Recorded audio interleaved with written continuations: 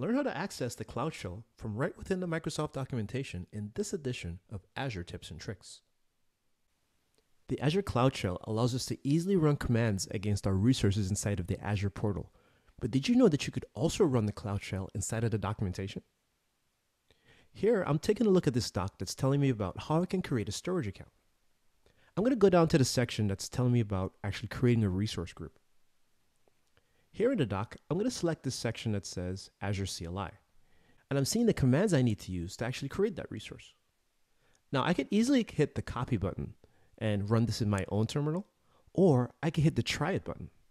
And what this will do is actually open up the Cloud Shell here inside of my browser. So I'm going to actually copy this command now, and I'll just paste it here inside of the Cloud Shell. And in little or no time, now my resource has been created. If I head back over to the Azure portal and I click on resource groups, here you can see my empty resource group has been created.